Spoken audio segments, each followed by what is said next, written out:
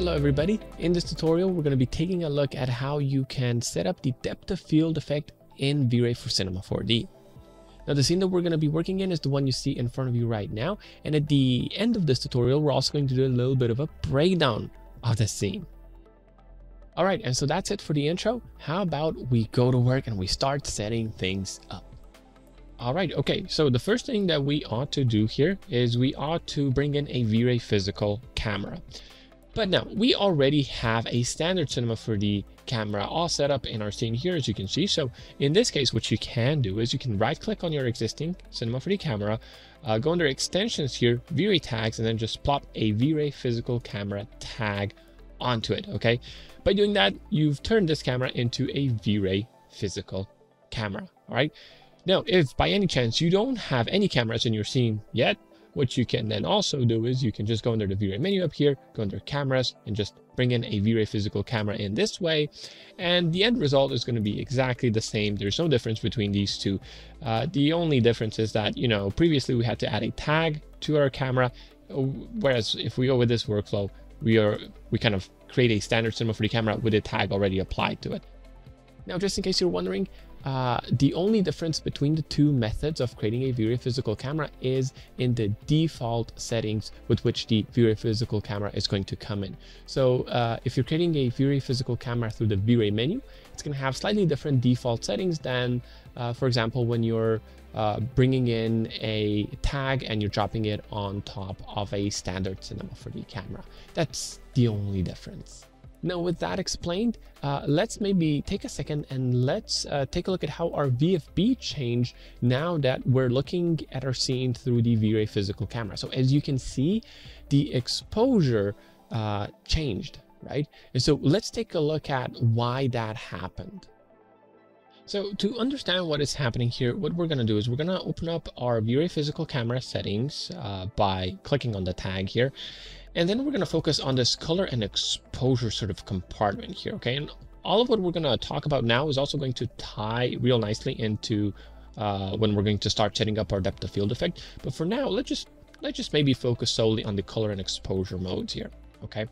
So once you bring in or once you create a V-Ray physical camera, uh, your exposure mode is automatically going to be set to physical exposure, okay? Which means that the exposure uh, settings for this camera are going to be controlled by playing with the aperture parameters here. So in other words, uh, this is how you would control a camera in the real world as well. So for example, if you want to make the image darker, you would maybe up the F number, right? That's going to affect the exposure. Uh, then you can also play with the ISO parameter. So if you up this one, it's going to make things brighter. Okay.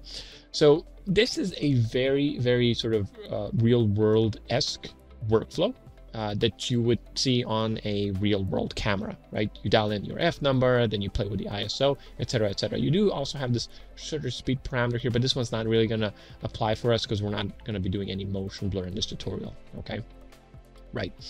So that's how exposure works when it's at the physical exposure. But then you can also switch it to these two other modes here. So let's switch it to exposure value first, okay? And so now, as you can see, our ISO parameter got grayed out, uh, but we can still play with the F number parameter, but if we do so, you're gonna be able to see that, you know, the exposure doesn't really change anymore. And that is because now our exposure for this camera is going to be solely controlled uh, with this exposure value parameter down here. So if we lower it, things are going to get brighter. If we up it, things are going to get darker. Okay, so that's how exposure works when you're in the exposure value mode. Now, what you can also do here is you can change the exposure mode to no exposure. Okay, that's going to uh, gray out that exposure value parameter, and it's also going to gray out the ISO, ISO parameter. And if you play with the F number, as you probably kind of guessed, uh, the exposure is really not going to get affected. Okay, so when you're in the no exposure mode, basically what this means is that none of the settings uh, in your uh, camera, none of your camera settings are going to affect your camera's exposure. Okay.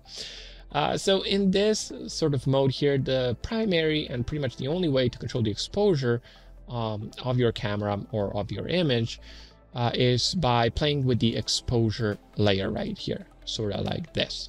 Okay. Now, uh, this doesn't mean that when you're in all these other modes here that this parameter is not working. It, it's working just fine. But when you're in the no exposure mode, this is pretty much the only way that you're going to be adjusting or tweaking the exposure um, for your rendered image. All right.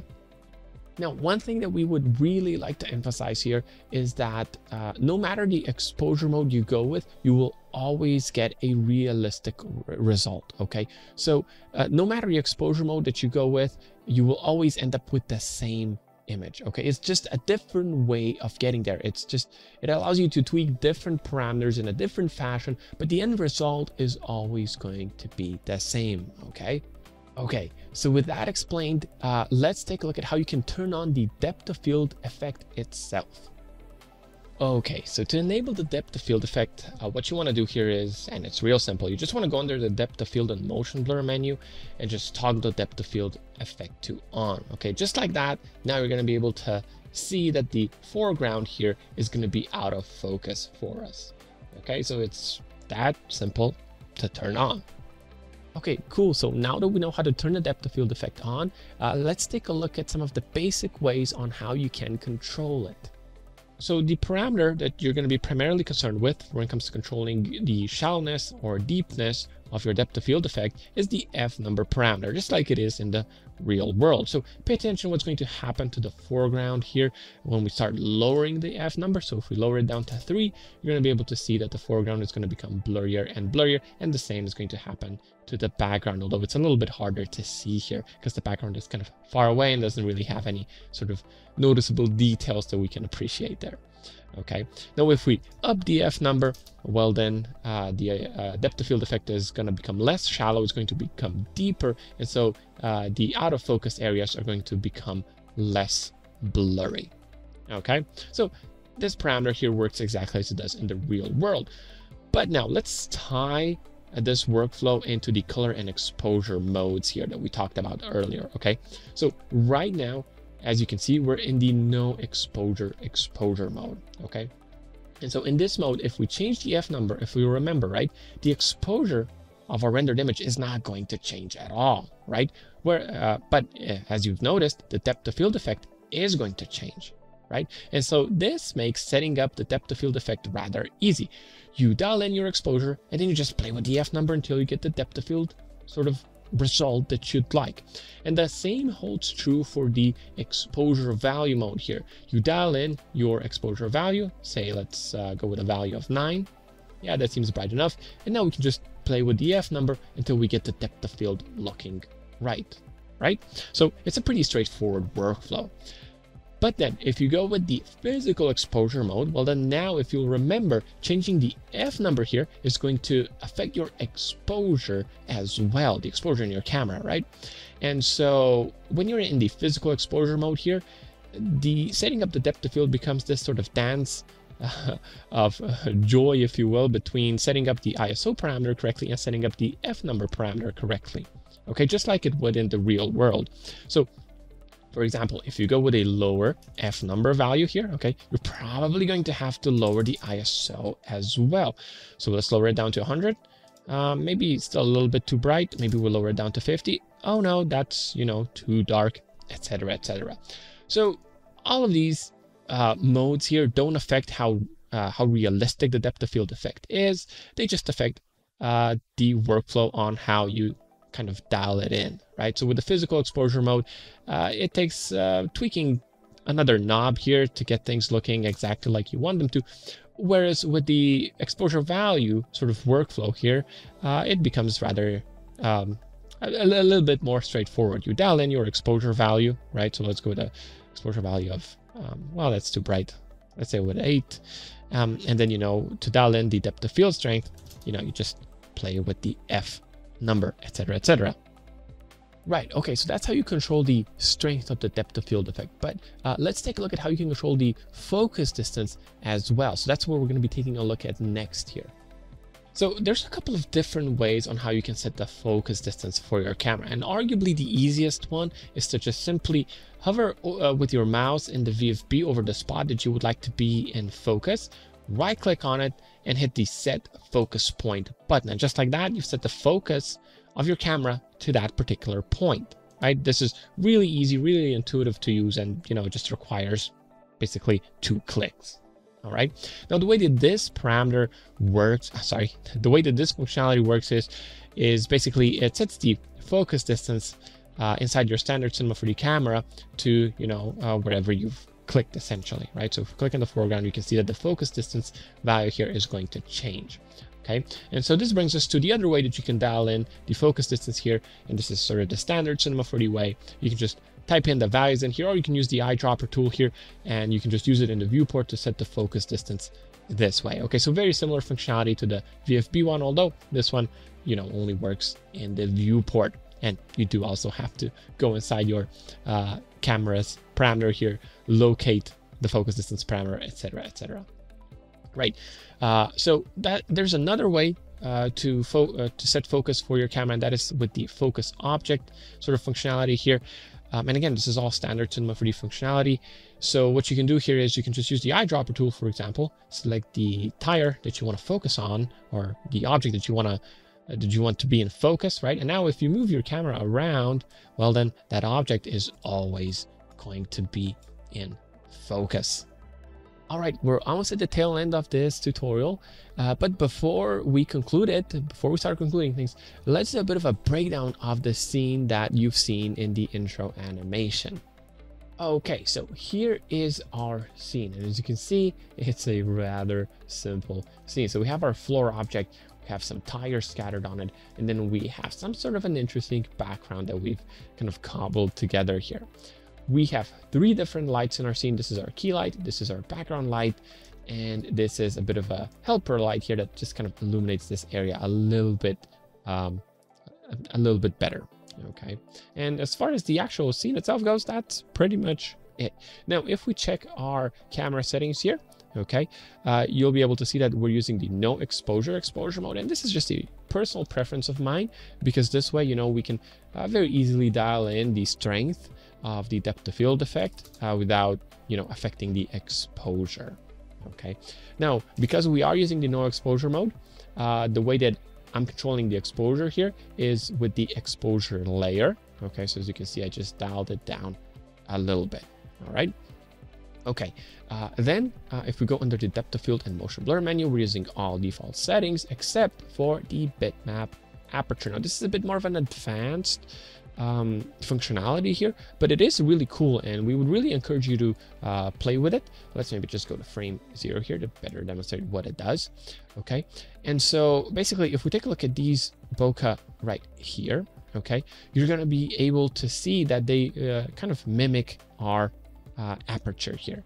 Okay, and so uh, with this functionality, you can really kind of fine tune your depth of field effect. And again, it is a bit more of an advanced sort of functionality, but we do highly encourage you to play around with it because this thing really allows you to customize and fine tune your depth of field look. Now, if we disable the bitmap aperture, the custom bitmap, bitmap aperture that we have here, well, now as you can see, that bokeh uh, looks more like your, you know, your typical standard bokeh. Okay. Right, the rest of the settings here are just default settings, okay?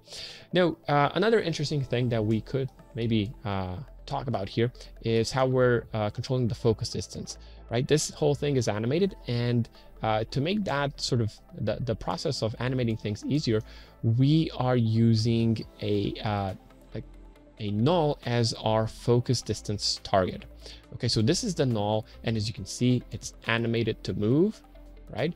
And the way that it's linked to our camera is if you just go into your camera settings under object here, you can see that you have this focus object input field here. And in here is where you can link your, uh, your target. In our case here, this is our null, okay?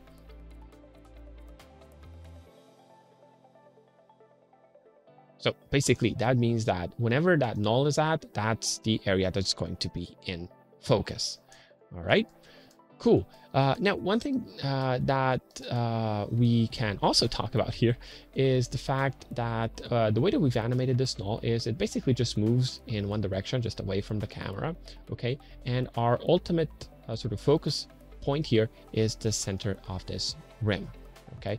But if we take a look at, at the animation, uh, we're now centered on that rim, but the, the null is going to overshoot a little bit, then it's going to pull back, it's going to overcompensate a bit, but then it's ultimately going to settle on our um, ultimate focus point, right?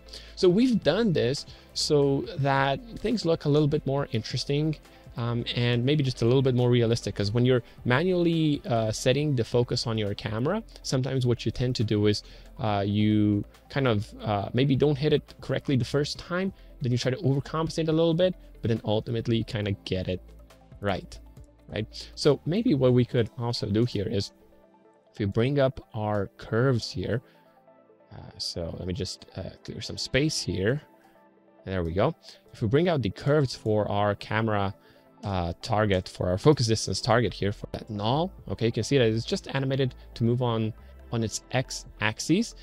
And, um, you know, it starts moving at frame 60.